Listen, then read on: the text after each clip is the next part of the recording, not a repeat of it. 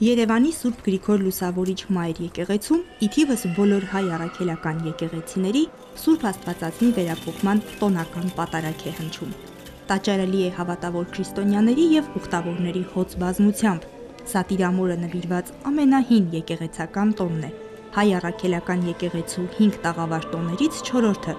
եւ տոնի հոգեվոր խորհուրդն այսօր առավել քան արդիական է։ Սուրբ Մարիամ Աստվածածինը համար առաջին բարեխոսն է ամբողջ մարդկության համար, ամբողջ աշխարհի համար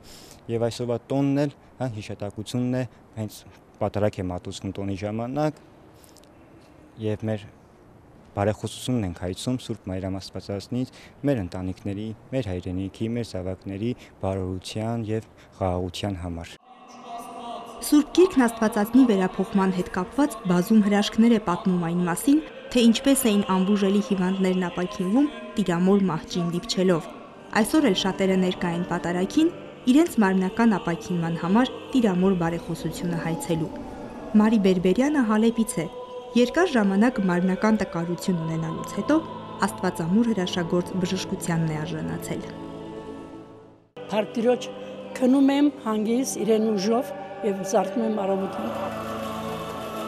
Վերափոխման տոնը ժողովրդի մեջ հայտնի է նաև խաղող օրհնեք անվանմամբ։ Խաղողը բոլոր պտուղներից ամենաօրնվածն է, քանզի մեր Տերն իրեն հենց խաղողի ворթ անվանեց, ասելով. Ես եմ ճշմարիտ ворթատունկը։ Բացի այդ, խաղողը տիրոջ նոր ուխտի արյան խորհրդանիշն է, որով մարդկությունը ազատվեց մեղքերից։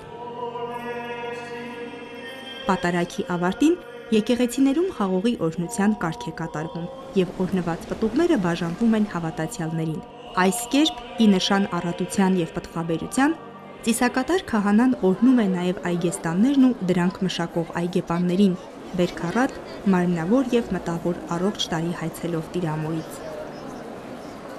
Թագուհի Թորոսյանն ամեն տարի այսօրը Մորից հիշատակ մնացած Աստվածամոր պատկերով նույն կախազարդով է ներկալինում պատարակին։ 7 թոր եւ 2 զավակ ունի։ Ամեն տարի Աստվածամոր տոնին Սեփական այգու բերքից է բերում եկեղեցի օրհնության։ Ես բերել եմ իմ պարտեզի բերքը, այսօր կորհնեմ, այնուհետև կտանեմ տուն, իմ ընտանիքի հետ միասին կմբոշխնենք։ Ես համոզված եմ, եթե իմ պարտեզի բերքն եմ բերել, ուրեմն կորհնվի նաև իմ պարտեզը։ Սոնա Խաչատրյան, Վրամ Խանամիրյան, եկեղեցական կյանք։